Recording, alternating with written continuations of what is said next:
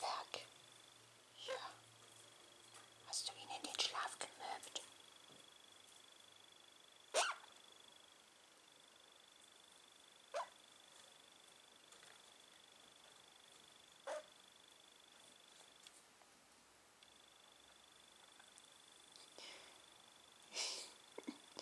Na, Pixi.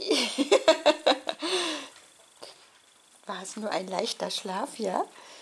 Hast du das doch gemerkt, dass der Pixie hochgeklettert ist? Pixbär, hm? Rübi, dann komm auf die andere Seite. Wolltest du noch ein bisschen dichter rutschen, ja? Ja, Möb. Na komm hierher. Oh, jetzt ist der Zwerg richtig wach wieder.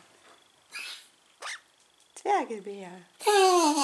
Mm. Pixie darf auch hier mitkuscheln, aber sowas von. Ja. Warst du aber schon ganz schön dicht, mein Schatz. Ja, ja.